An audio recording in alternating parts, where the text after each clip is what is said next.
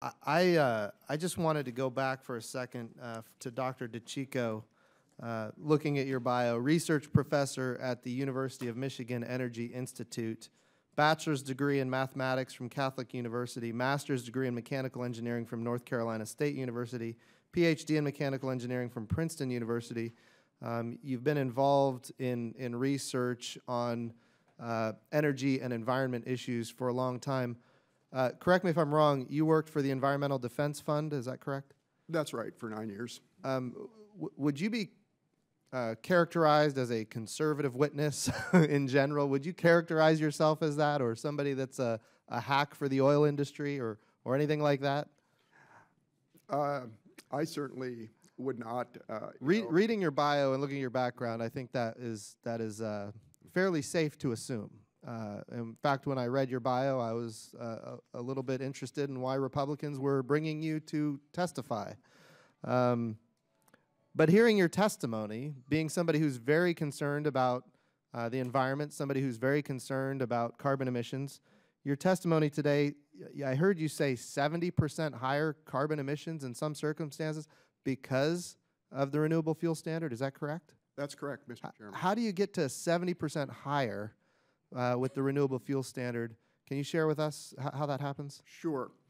Um, The thing to keep in mind is that all of the claims for reduction on, on biofuels depend on this carbon neutrality assumption.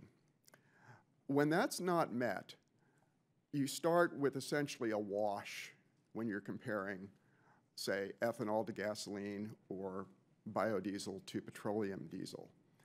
And then you have to look at the process emissions uh, from that basis.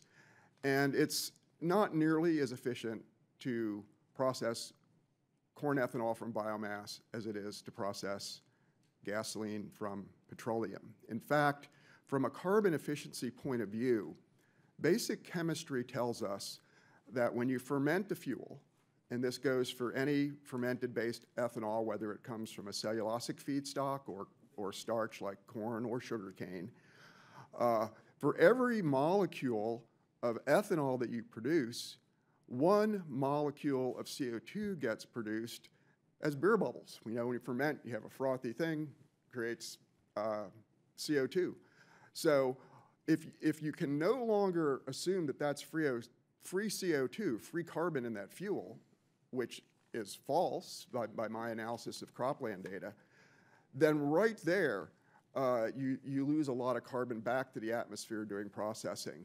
So when you add that back in, when you add in uh, the emissions to make fertilizer, when you add in the emissions to uh, run the biorefineries even from natural gas in a dry mill, which is a pretty efficient form of biorefinery, uh, and take away this automatic credit that the life cycle models assume, uh, you can end up with 70% higher emissions. And that's not the end of the story. I mean, that's not the upper limit on the damage when you begin to look at the ripple effects. So, uh, in your testimony, I have heard uh, you mentioned harmful to the environment. I just heard you use, use the word damage to the environment, higher CO2 emissions, um, uh, in some cases 70% higher. You mentioned water pollution, you mentioned algae bloom.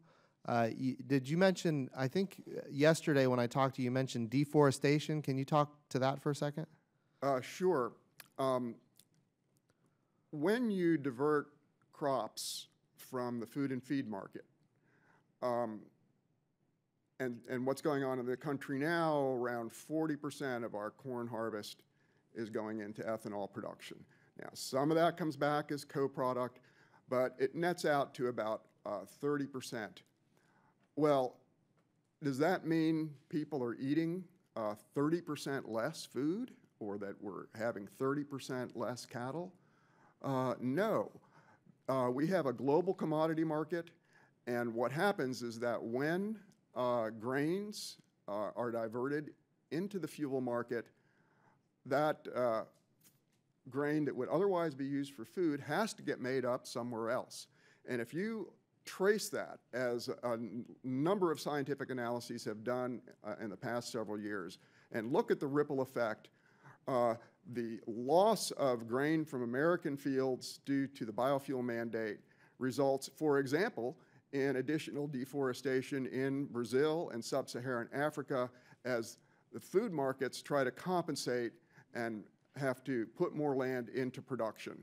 Uh, this is a highly uncertain effect, but there's no doubt because of the coupling of global commodity markets that this effect, which is known as indirect land use change, is occurring. Thank you, Dr. DeCicco. Uh, I'm, I'm out of time, uh, but it, it is uh, important to note that if it's damaging to the environment, if it's putting more CO2 emissions into the atmosphere, if, the, if, if it's adding to prices uh, for both food and fuel, uh, it leaves us wondering what are, what are the reasons that we still have the renewable fuel standard.